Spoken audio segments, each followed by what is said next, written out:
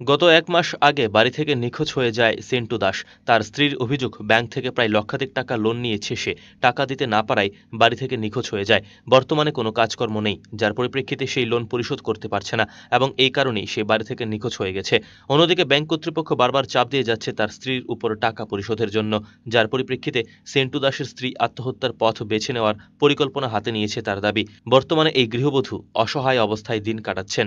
আমতলী থানায় গত এক মাস পূর্বেই নিখোঁজ মামলা করার পরেও আজ পর্যন্ত কোনো হদিশ পাওয়া যায়নি সেন্টু দাসের।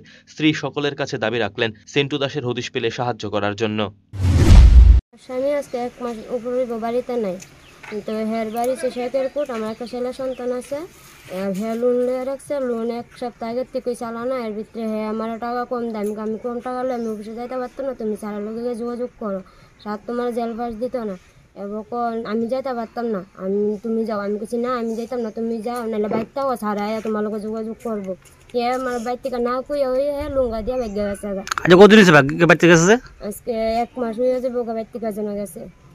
এরপরে আমি থানাতে এফআইআর করছি। থানাতে এফআইআর করার পরে দুই থানার তারা রাখছে ছটা ছবি সহকার কইছে টিভির দেওয়ানো কথা আসলো। টিভিতে আমরা দেখছি ছবি দেওয়া হয়েছে না টিভিতে। এবার দেখছি ম্যাডামে ওখানে আমার ফোন করছিল। ফোন করার পরে তোমার স্বামী চেন্টুদার বাড়িতে এসে আমি কই, না, ম্যাডাম আইসে না। ও আচ্ছা ঠিক আছে। কত করে একটা দিছে। তখন যা দেওয়া যেতেছে আমি আমার সন্তান নিয়ে সেটা আমার ঘরে চেক করানো লাগবে bureau report, search India TNN.